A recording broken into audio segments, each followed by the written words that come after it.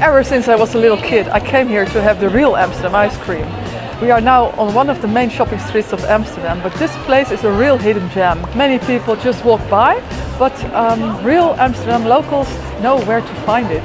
My mother took me here when I was a child, her mother took her here when she was a child, and um, I'm not going to tell you where it is, you must just find it for yourself. But just look at this one, this is what it looks like. Enjoy! Thank you.